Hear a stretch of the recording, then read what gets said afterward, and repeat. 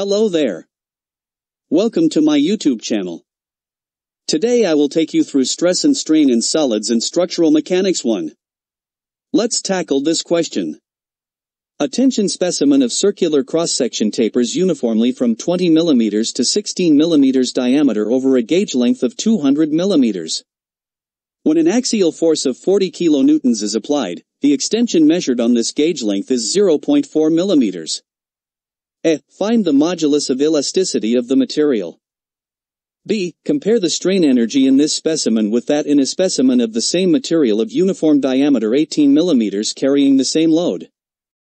Solution Given D1 equals 0.02 meters.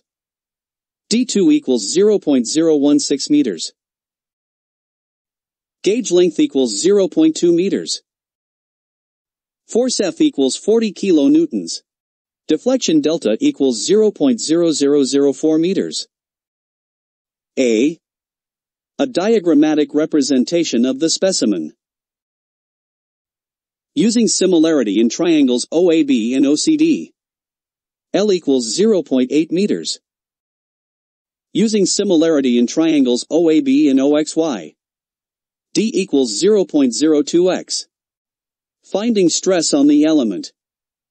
Sigma equals 127.33 times 10 to power 6 over x squared newtons per squared meter. Finding extension on the element.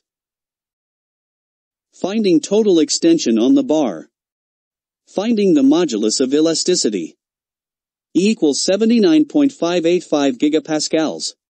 B. Obtaining ratio of strain energy.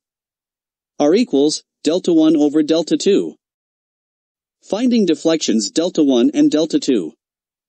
Delta 1 equals 0.0004 meters. Delta 2 equals 0.000395 meters. Finding ratio of strain energy. R equals 1.012. Thus U1 equals 1.01 to U2. Don't forget to subscribe, like and comment. I am Engineer Mayday, when you need help Mayday is the call. You have been an interactive learner. Thank you.